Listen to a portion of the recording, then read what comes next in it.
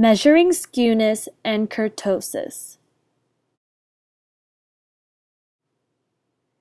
We saw in the sectional distributions that shapes of distributions can differ in skew and or kurtosis.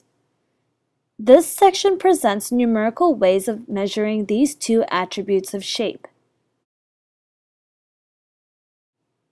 This figure shows a distribution with a very large positive skew. Recall that distributions with positive skew have tails that extend to the right.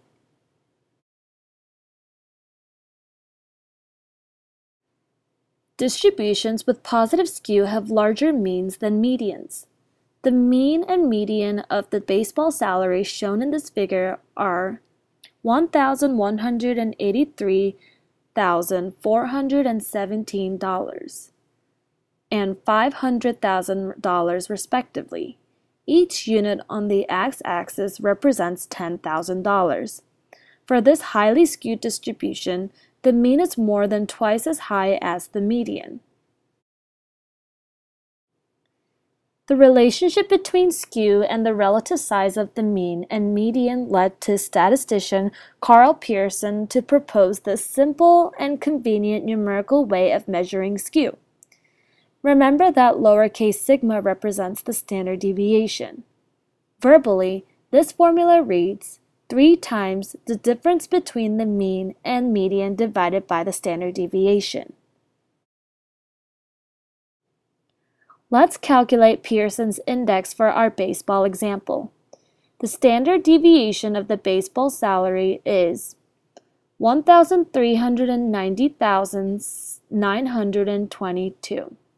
Therefore, Pearson's measure of skew for this distribution is 3 times the quantity of 1,183,417 minus 500,000 divided by 1,390,922, which equals to be 1.47. Just as there are several measures of central tendency, there is more than one measure of skew.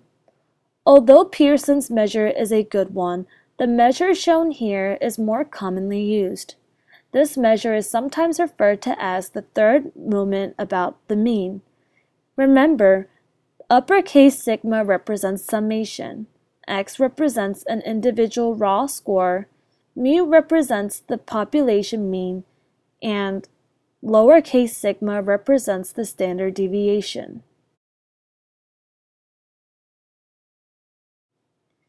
Use this formula when estimating the skew when n is the sample size, m is the sample mean, and s is the sample standard deviation.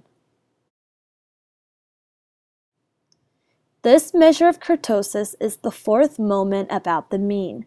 The value 3 is subtracted to define no kurtosis as the kurtosis of a normal distribution. Otherwise, a normal distribution would have a kurtosis of 3.